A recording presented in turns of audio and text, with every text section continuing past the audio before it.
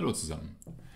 Religion und Wissenschaft, die beiden haben kein besonders einfaches Verhältnis zueinander und liegen schon seit ja, einigen Jahrhunderten oder vielleicht sogar noch länger miteinander im Kriegszustand oder vielleicht auch nicht. In der Gegenwart ist das mehr präsent als jemals zuvor. Denken Sie an Debatten um Kreationismus und Evolutionstheorie, aber denken Sie auch an historische Vorbilder von Konflikten zwischen Religion und Wissenschaft, wie etwa den Streit um das heliozentrische Weltbild mit Gestalten wie Kopernikus und Galilei, gegen die sich die Kirche lange Zeit sehr stark gewehrt hat. Religion und Wissenschaft kommen also anscheinend nicht besonders gut miteinander klar. Aber warum eigentlich nicht? Wo ist denn das Problem zwischen den beiden? Das ist das Thema, mit dem wir uns heute auseinandersetzen wollen. Und schauen wir uns dazu einfach mal ein ganz interessantes Beispiel an, wie ein solcher Konflikt zwischen Religion und Wissenschaft entstehen und aussehen könnte. Wir lesen mal gemeinsam ein Stück aus der Bibel. Es geschah aber in jenen Tagen, dass Kaiser Augustus den Befehl erließ, den ganzen Erdkreis in Steuerlisten einzutragen. Diese Auszeichnung war die erste. Damals war Quirinius Statthalter von Syrien. Da ging jeder in seine Stadt, um sich eintragen zu lassen. So zog auch Josef von der Stadt Nazareth in Galiläa hinauf nach Judäa in die Stadt Davids, die Bethlehem heißt, denn er war aus dem Haus und Geschlecht Davids. Er wollte sich eintragen lassen mit Maria, seiner Verlobten, die ein Kind erwartete. Es geschah, als sie dort waren, da erfüllten sich die Tage, dass sie gebären sollte, und sie gebar ihren Sohn, den Erstgeborenen. Sie wickelte ihn in Windeln und legte ihn in eine Krippe, weil in der Herberge kein Platz für sie war. Und so weiter. Wahrscheinlich haben Sie das erkannt. Das ist die Weihnachtsgeschichte aus dem Lukasevangelium. Ein Text oder vielleicht der bekannteste Text überhaupt aus dem Neuen Testament. Selbst wenn man nicht allzu viel mit dem Christentum am Hut hat, ist man vielleicht schon das ein oder andere Mal über dieses Stück gestolpert. Nun, warum ist das jetzt problematisch? Es gibt seit einigen Jahrhunderten schon eine kritische Bibelforschung, also eine Forschung, die die Bibel als einen historischen Text betrachtet und versucht, dessen Entstehungsgeschichte, dessen Quellen, dessen Einflüsse und so weiter herauszufinden. Also sie betrachtet die Bibel mit den Methoden, wie sie die klassische Philologie und die anderen Philologien entwickelt haben, um historische Texte zu analysieren. Sie versucht also eine historisch-kritische Analyse der Hintergründe und der Entstehung der Bibel.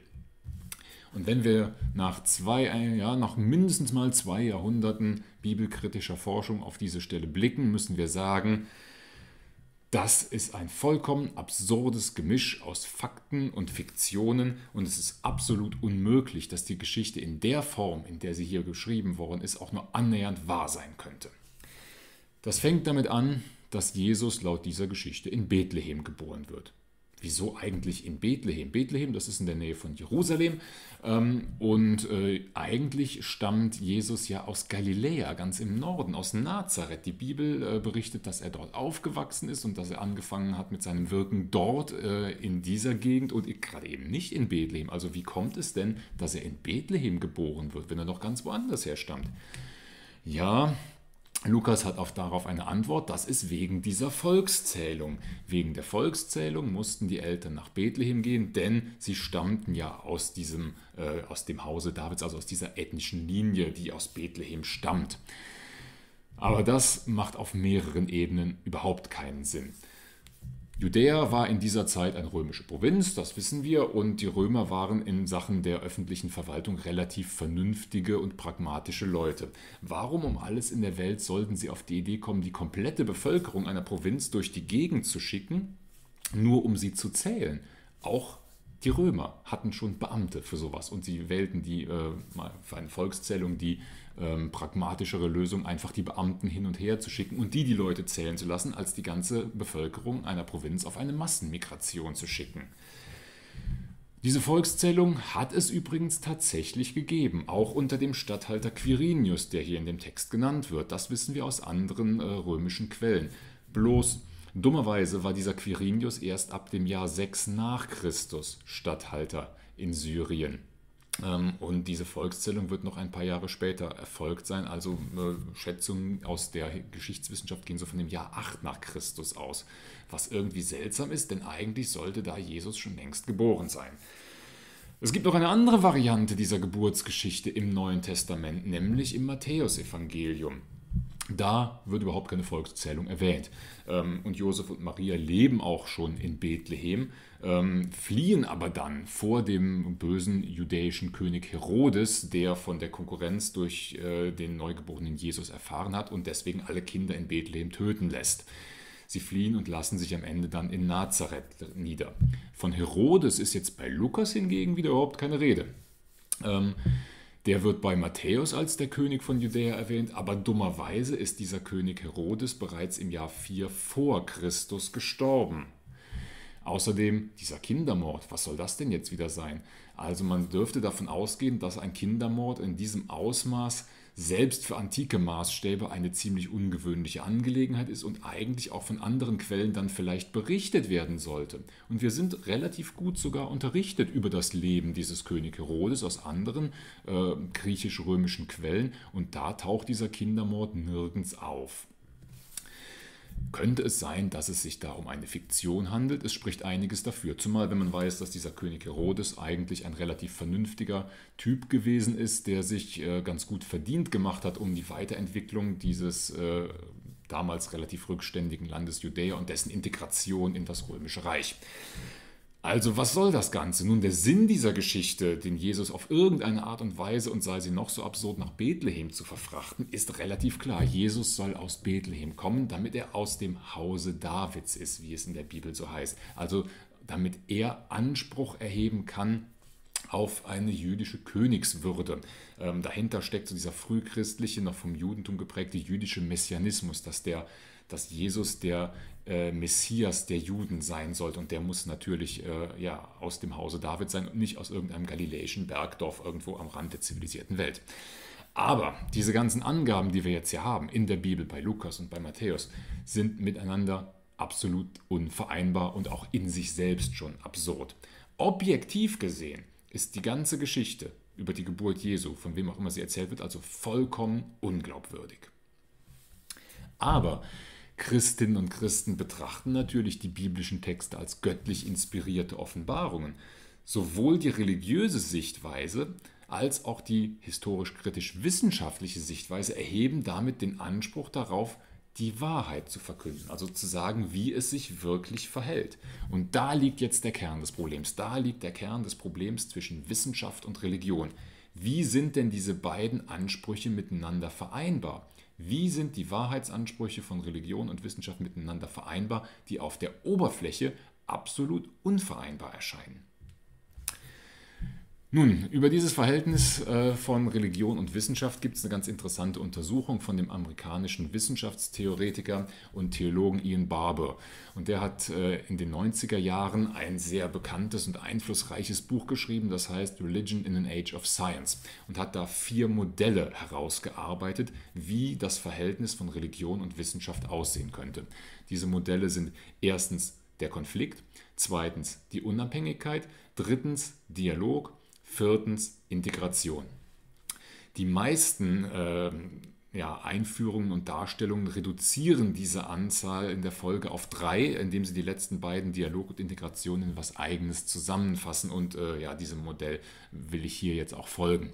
Nun schauen wir uns jetzt mal diese Optionen der Reihe nach an.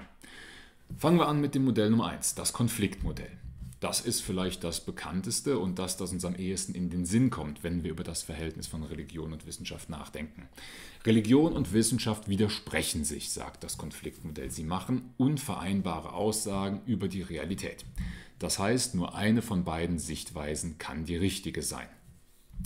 Der Ursprung dieses Konflikts, also dieses zwangsläufigen Konfliktes zwischen Religion und Wissenschaft, der liegt in den, sagen wir mal, philosophischen oder wissenschaftstheoretischen Voraussetzungen der Wissenschaft. Zum einen ist das der Naturalismus. Naturalismus kann auf verschiedene Arten und Weisen verstanden werden und jetzt für das Verständnis von Wissenschaft sind es besonders zwei Interpretationen von Naturalismus, die hier relevant sind. Das eine ist der metaphysische Naturalismus, das bedeutet, es gibt nur natürliche Entitäten. Und das andere ist der methodische Naturalismus, der sagt, wir dürfen nur natürliche Entitäten für Erklärungen heranziehen. Also alle Erklärungen können nur natürliche Entitäten involvieren. Dieser Naturalismus ist die Grundlage der wissenschaftlichen Methode. Er schließt damit alles aus, was wissenschaftlich nicht erklärbar wird, ist. Also er grenzt damit den Bereich der Wissenschaft quasi ab. Das andere, die andere wichtige philosophische Voraussetzung der Wissenschaft ist der Evidentialismus. Das kennen Sie schon längst, nicht wahr? Also Evidentialismus, haben wir lang und breit darüber geredet, äh, besagt, es darf nur das geglaubt werden, was auch rational begründbar ist. Verbindet man die beiden miteinander, also verbindet man Evidentialismus und methodischen Naturalismus miteinander, dann heißt das, nur eine natürliche Erklärung kann die hinreichenden Gründe liefern, die wir brauchen, um etwas glauben zu dürfen. Also wir dürfen nur dann etwas glauben, wenn es hinreichend durch natürliche Erklärungen begründet ist. Das heißt, wir brauchen Sinneserfahrung oder die komplexere Form der Sinneserfahrung, die wissenschaftlich-methodische Empirie. Und das schließt dann natürlich Religion aus, denn das kann Religion nicht leisten. Sie kann diesem Anspruch niemals genügen. Damit ist der Konflikt unvermeidlich. Aber dieses Modell, auf dem der, also dieses Konfliktmodell oder die Voraussetzungen, auf denen dieses Konfliktmodell beruht, die haben so ihre eigenen Schwierigkeiten. Das Problem dieser Sichtweise ist nämlich, das ist selbst keine wissenschaftliche Theorie. Also wer behauptet, dass ja nur natürliche Entitäten Erklärungen sein dürfen und dass nur hinreichende Begründungen durch natürliche Erklärungen zulässig sind, der ähm, ja, stellt keine wissenschaftliche Theorie auf, sondern eine philosophische Voraussetzung darüber, was wissenschaftliche Theorien eigentlich sind. Diese Voraussetzung selbst kann ja nicht durch Experimente oder durch Sinneserfahrung oder sonst irgendwas begründet oder nachgewiesen werden und sie ist auch nicht analytisch wahr oder selbstverständlich. Das heißt, wenn man ein solches naturalistisches, wissenschaftliches, vielleicht sogar scientistisches Weltbild vertritt, dann enthält dieses Weltbild notwendigerweise unwissenschaftliche Voraussetzungen. Voraussetzungen, die nicht durch die Wissenschaft selbst eingelöst werden können. Streng genommen, müsste man sagen, widerspricht es sich damit selbst. Aber wenn das so ist, also wenn die Wissenschaft auf etwas vorwissenschaftlichem oder nicht wissenschaftlichem aufbaut, warum nimmt sie dann gerade die Voraussetzungen an, die sie annimmt? Könnte man dann an der Stelle nicht auch einfach religiöse Überzeugungen als Voraussetzung annehmen? Also es sieht so aus, als wäre dieses Konfliktmodell kritisch deswegen, weil die Wissenschaft stärkere Voraussetzungen macht, als sie aus sich selbst einlösen kann. Wie sieht es denn dann mit der Alternative aus? Wie sieht es aus mit Modell Nummer 2, das Unabhängigkeitsmodell? Dieses Unabhängigkeitsmodell besagt, Religion und Wissenschaft widersprechen einander nicht, weil sie eben gar nicht über das Gleiche sprechen. Also die Dinge, von denen beide handeln, sind nicht identisch. Das kann jetzt auf zwei Arten verstanden werden. Also einerseits kann man damit meinen, Religion und Wissenschaft sprechen über unterschiedliche Gegenstände oder unterschiedliche Themengebiete, wenn Sie so wollen. Äh, zum Beispiel könnte man sagen, ja, die Wissenschaft befasst sich mit der natürlichen Realität oder der empirischen Realität und im Gegenzug befasst sich die Religion mit der übernatürlichen Realität. Oder die andere Interpretation wäre, Religion und Wissenschaft haben zwar die gleichen Gegenstände, also handeln von den gleichen Dingen, aber unterschiedliche Methoden oder unterschiedliche Ziele oder vielleicht auch unterschiedliche Interessen und Zugangsweisen zu diesen gleichen Gegenständen. Die erste Variante ist relativ problematisch und wird eigentlich nicht wirklich oft vertreten. Ähm, denn, simple Frage, wo verläuft denn eigentlich die Grenze zwischen natürlich und übernatürlich? Also nehmen Sie sowas wie, es gibt eine unsterbliche Seele. Ist das jetzt eine natürliche oder eine übernatürliche Tatsache? Und äh, wie würde eine Theorie der Seele aussehen, die natürlich wäre? Und worin unterscheidet sie sich von einer Theorie der Seele, die übernatürlich wäre? Also das ist gar nicht so ohne weiteres klar, was eigentlich diese Grenzziehung zwischen natürlich und übernatürlich bedeuten soll. Außerdem, Wissenschaft schließt ja per se von ihrem Selbstverständnis her bereits die Existenz des Übernatürlichen aus. Also allein das wäre schon Grund genug für einen Konflikt, dass man diese Grenze zieht zwischen natürlich und übernatürlich. Denn wenn man diese Grenze zieht, sagt man ja, es gibt sowohl das eine als auch das andere. Aber die Wissenschaft sagt, nein, es gibt nur das eine. Das heißt, ähm, ob man auf diese Art und Weise zu einem Unabhängigkeitsmodell kommt, ist doch äh, stark bezweifelbar. Die zweite Variante ist die interessantere, also die zweite Variante, nach der Religion und Wissenschaft die gleichen Themen behandeln, nur auf unterschiedliche Weise. Ähm, besonders bekannt ist sie in der Form der sogenannten NOMA-Theorie von äh, Evolutionstheoretiker Stephen Jay Gould. NOMA äh, steht als Akronym für Non-Overlapping Magisteria, also sich nicht überschneidende Lehrgebiete, könnte man sagen. Die Idee ist hier, Religion und Wissenschaft schneiden sich nicht. Also das heißt, sie behandeln nicht das gleiche Themenfeld. Ähm, sie behandeln zwar die gleichen Gegenstände, aber mit unterschiedlichen Herangehensweisen. Die Wissenschaft behandelt Fragen der empirischen Realität. Sie fragt zum Beispiel, was existiert, woraus ist das Universum beschaffen und so weiter und so fort. Die Religion hingegen behandelt Fragen von Sinn und Wert, also was ist wichtig und wertvoll im Leben beispielsweise. Die beiden können sie also durchaus auf den gleichen Gegenstand beziehen, aber sie haben eine unterschiedliche Herangehensweise an diesen Gegenstand. Machen wir es uns an einem Beispiel klar. Ähm, zum Beispiel eben der Tod. Die Wissenschaft fragt dann sowas wie, ja, welche Ereignisse im Körper führen beispielsweise zum Tod eines Menschen? Welche medizinischen Eingriffe können einen bevorstehenden Tod des Körpers abwenden? Wie kann der Sterbeprozess erleichtert werden? Und so weiter und so fort. Das wären wissenschaftliche Fragen zum Phänomen des Todes. Religiöse Fragen oder religiöse Einstellungen zum Tod würden hingegen äh, sich um solche Fragen drehen wie, ja, was ist die Bedeutung des Todes für das menschliche Leben? Wie sollen wir mit dem Tod eines Menschen umgehen? Wie sollen wir uns zum eigenen Tod verhalten? Und so weiter und so fort. So, funktioniert das? Hm, das funktioniert nur dann, wenn beide sich tatsächlich nicht berühren, also wenn Religion und Wissenschaft tatsächlich nicht miteinander interagieren. Aber Religionen machen sehr wohl Aussagen über Tatsachen, die eigentlich ja der Wissenschaft vorbehalten sein sollen. Also zum Beispiel lehrt das Christentum, dass Christus von den Toten auferstanden ist. Und das ist prinzipiell eine empirisch-historische Behauptung. Das kann man empirisch-historisch, vielleicht sogar ähm, ja, naturwissenschaftlich überprüfen, ob das tatsächlich passiert ist. Oder viele theistische Religionen lehren auch, dass das Universum von Gott geschaffen worden ist.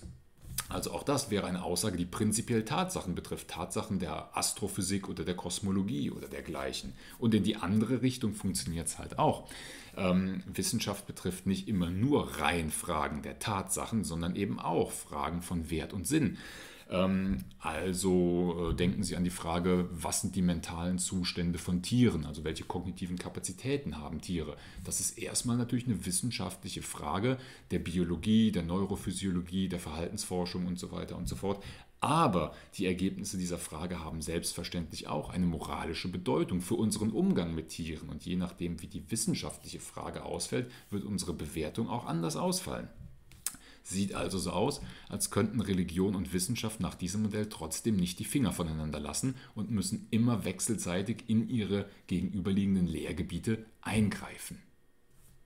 Das dritte Modell, das ist jetzt das Dialogmodell. Das ist wahrscheinlich das aussichtsreichste der drei, aber trotzdem bleiben auch hier so ein paar Probleme bestehen. Nach diesem Modell sieht es nämlich so aus, dass Religion und Wissenschaft gemeinsam in ein einheitliches Weltbild integriert werden können. Das heißt, Religion und Wissenschaft betreffen zwar grundsätzlich die gleichen Gegenstandsbereiche, also können sich nicht aus dem Weg gehen, aber ähm, sie müssen nicht zwangsläufig immer miteinander in Konflikt geraten. Natürlich, das Potenzial für Konflikt besteht immer, aber es besteht keine Notwendigkeit, dass es zum Konflikt kommt, denn diese Konflikte sind prinzipiell lösbar. Das ist der Unterschied zum Konfliktmodell. Das Konfliktmodell sagt, es muss immer zu einem Konflikt zwischen Religion und Wissenschaft kommen, weil die beiden eben von äh, Voraussetzungen ausgehen, die miteinander unvereinbar sind. Deswegen werden sie immer gegeneinander anrennen. Das Dialog- oder Integrationsmodell, das sagt jetzt, ja, die beiden werden sich zwar kabbeln über äh, das gleiche Thema, aber es besteht prinzipiell immer die Möglichkeit, diesen Konflikt zu lösen. Wenn Konflikte auftreten, dann müssen wir eben abwägen, welche Argumente stärker sind. Aber beide, Religion und Wissenschaft, stehen auf dem gemeinsamen Boden eines vernünftigen Weltbildes.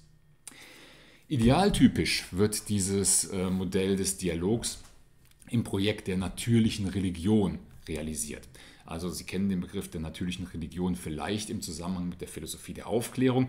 Das ist der Gedanke, dass man eben nur das als religiöse Überzeugung akzeptieren sollte, was aus der Vernunft und der rationalen Beobachtung der Wirklichkeit geschlossen werden kann. Also Offenbarungen im Sinne von auch biblische Offenbarungen sind damit ausgeschlossen in Zeiten der Aufklärung, im sagen wir mal 18. Jahrhundert oder so, war das ein ziemlich radikales Projekt, weil es eben die Absage an jede traditionelle Offenbarungsreligion beinhaltete. Religion muss einzig und allein das sein, was sich durch Vernunft und quasi wissenschaftliche Forschung als religiös bestätigen lässt.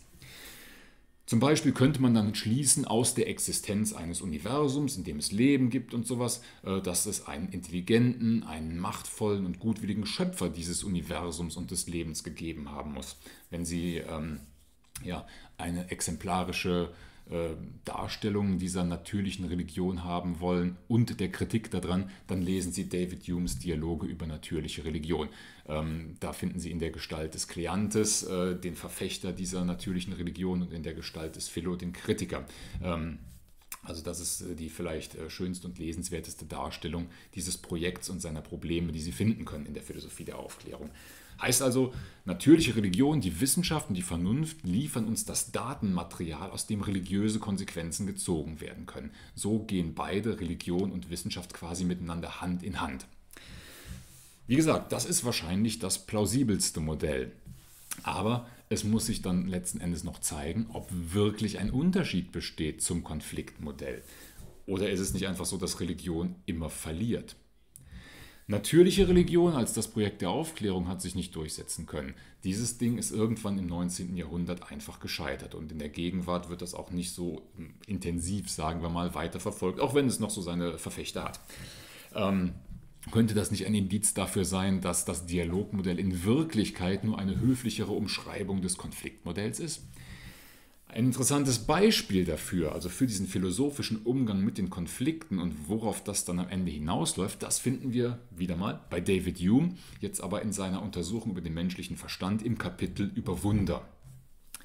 Da stellt er sich die Frage, gibt es das eigentlich? Gibt es Wunder? Das heißt, gibt es Verletzungen der Naturgesetze durch einen Eingriff Gottes? Das ist so ein klassischer Konfliktfall. Die Wissenschaft sagt, Naturgesetze gelten absolut. Es kann keine Ausnahmen geben, es kann nichts geben, was mit den Naturgesetzen unvereinbar ist. Aber die Religion berichtet, dass genau solche Dinge passiert sind. Zum Beispiel, dass Menschen von den Toten auferstanden sind oder dass Wasser in Wein verwandelt wurde oder, oder, oder. Und Hume fragt jetzt, wann darf ich das eigentlich glauben? Wann darf ich an ein Wunder glauben? Und er antwortet, nie. Warum nicht? Schauen wir uns mal ein Stück aus diesem Kapitel über Wunder an. Da schreibt Hume, Warum ist es mehr als wahrscheinlich, dass alle Menschen sterben müssen, dass Blei nicht von selbst in der Luft schweben bleibt, dass Feuer Holz verzehrt und von Wasser gelöscht wird? Doch nur weil diese Ereignisse mit den Naturgesetzen im Einklang befunden worden sind und es, um sie zu verhüten, einer Verletzung dieser Gesetze oder mit anderen Worten eines Wunders bedarf. Was im gewöhnlichen Lauf der Natur jemals geschieht, das gilt nicht als Wunder.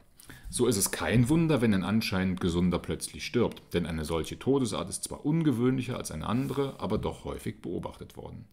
Aber das wäre ein Wunder, wenn ein Toter ins Leben zurückkehrte, weil das zu keiner Zeit und in keinem Lande jemals beobachtet worden ist. Es steht daher notwendig eine gleichförmige Erfahrung jedem wunderbaren Ereignis entgegen, sonst würde das Ereignis nicht diesen Namen verdienen. Also, wir erleben immer, dass die Natur sich konstant und gleichförmig verhält. Wir würden überhaupt nur dann von einem Wunder sprechen, würden ein Ereignis nur dann ein Wunder nennen, wenn diese Gleichförmigkeit verletzt wird. Und genau da liegt das Problem. Wenn wir uns diese Frage stellen, wann darf ich an ein Wunder glauben, dann geht es für Hume darum, was wahrscheinlicher ist. Wir haben zwei mögliche Interpretationen eines Ereignisses. Handelt es sich um ein Wunder oder irren wir uns, wenn wir hier von einem Wunder sprechen. Also ist es ein Wunder oder ist es ein Irrtum?